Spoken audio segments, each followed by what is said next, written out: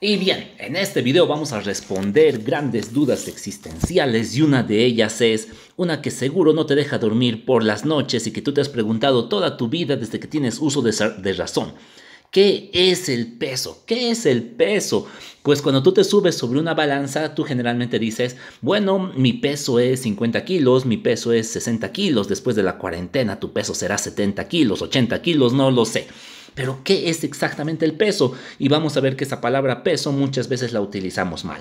Pues el peso es simplemente una fuerza, es una fuerza de atracción generada por la gravedad. Una fuerza de atracción gravitacional. Eso es el peso. En otras palabras, el peso es la fuerza que un planeta, en sí es cualquier objeto, pero, pero pero más se nota en un planeta, en un objeto celeste, en una estrella. Eh, es la fuerza con que este planeta Tierra atrae a un objeto. Si aquí sueltas algo, este objeto se va a ir directo hacia el centro de la Tierra y tú puedes hacer la prueba. Por ejemplo, si tú en este momento agarras el celular en el que tal vez estás viendo este video y lo sueltas a una determinada altura, pues vas a ver el, el vas a ver a la gravedad en acción, ¿sí? No lo sueltes de muy alto, hay muchos videos para ver aún.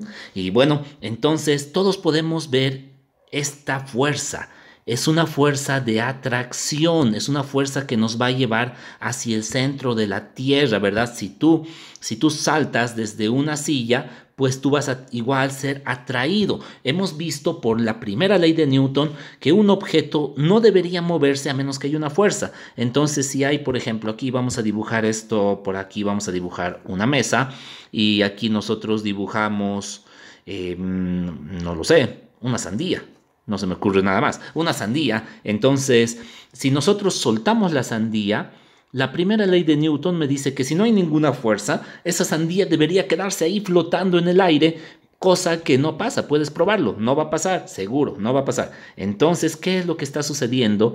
Que esta sandía está ganando una aceleración y por la segunda ley de Newton hemos visto que siempre que hay una aceleración es porque antes tiene que haber habido sí o sí una fuerza. Entonces, ¿cuál es esta fuerza que provoca que los objetos se vayan hacia abajo?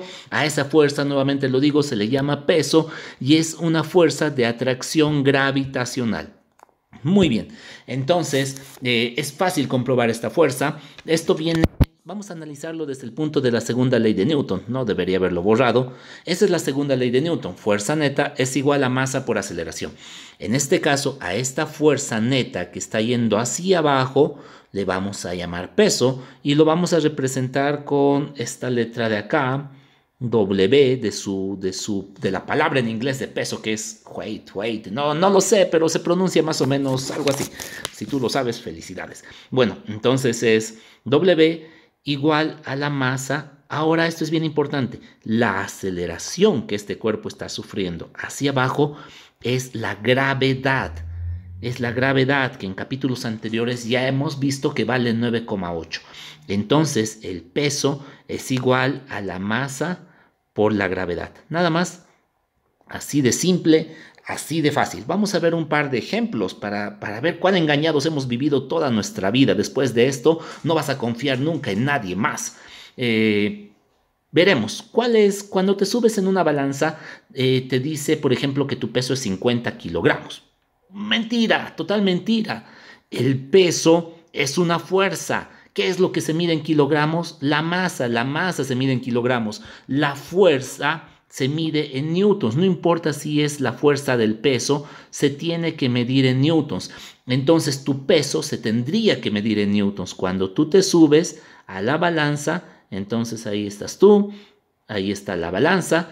Em, vamos a suponer que lo que tú tienes es una masa. La masa se mide en kilogramos. Una masa de 100 kilos. Sí, bastante. Eh, ahí. Ahora sí, parece una masa de 100 kilogramos.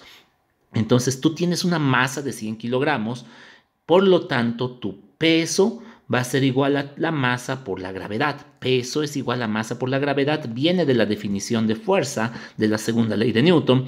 Entonces el peso va a ser la masa que va a valer 100 por la gravedad que va a valer 9,8 y el peso de una persona de 100 kilos en realidad va a ser 980 newtons. Si tu masa es la mitad, 50 kilogramos, entonces tu peso va a ser 490 newtons. Entonces lo que tú mides, eh, cuando tú te subes a una balanza y dices, me voy a pesar, pues en realidad estás usando mal la palabra, estás sacando tu masa, no estás sacando tu peso. Tu peso se mide de entrada, no se mide en kilogramos, se mide en newtons. Espero que se esté entendiendo. Ahora, esto es bien importante.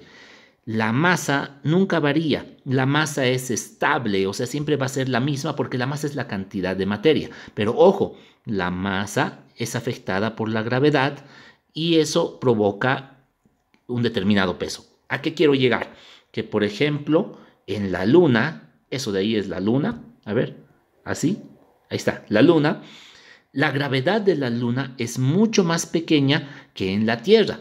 Por lo tanto, tu masa en la luna va a seguir siendo la misma, pero como está multiplicada por la gravedad que es más pequeña, va a dar como resultado un peso mucho más pequeño y eso es el motivo por el cual tú ves en las películas que los astronautas están saltando así como que flotando en la luna porque su peso es mucho menor debido a que la gravedad de la Luna es mucho menor. Dicho sea de paso, la gravedad de la Luna es aproximadamente un sexto de la gravedad en la Tierra.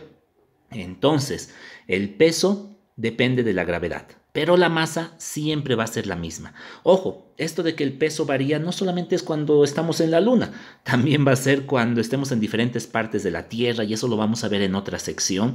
Si digamos estamos en lo alto de una montaña, en esta parte de acá tu peso va a ser menor porque la gravedad es un poco menor que por ejemplo a la altura del nivel del mar.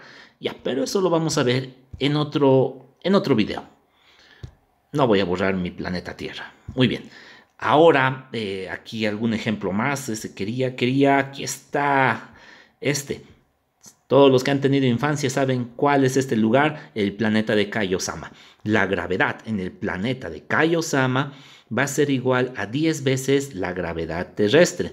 Vamos a utilizar eso para ver cuánto pesa, cuánto pesa nuestro, nuestra persona de 100 kilogramos en la Luna y en este planeta. Pues el peso en la Luna de esta persona va a ser igual a su masa, que siempre se va a mantener como 100, pero multiplicada por la gravedad de la Luna, que es aproximadamente un sexto de 9,8. Entonces va a ser 9,8 sobre 6 y el peso de esta persona cuya masa es 100 kilogramos en la Luna va a ser exactamente 163 newtons, mucho menos, ¿verdad? Mucho menos que acá en la Tierra. Ahora, el peso de esta persona acá, en el planeta de Kaiosama, donde la gravedad es 10 veces la gravedad terrestre, pues el peso en el planeta de Kaiosama, los que no saben cuál es el planeta de Kaiosama, vayan a averiguar, por favor. Entonces, esto va a ser igual a la masa, que es 100, multiplicado por la gravedad en este planeta, que es 10 veces la gravedad terrestre.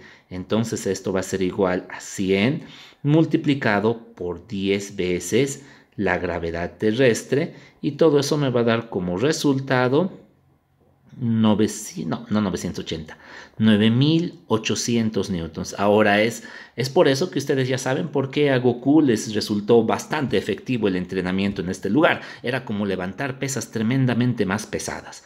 Muy bien, ya con esto vamos acabando con otra duda existencial más. Yo sé que esta duda es, es, es muy, muy recurrente en todos nosotros, muchas noches sin dormir por culpa de esto. Nosotros tenemos dos esferas exactamente iguales, pero una de ellas va a estar hecha, no lo sé, de plastoformo y la otra va a estar hecha de, de acero. Vamos a suponer que ese color representa el acero.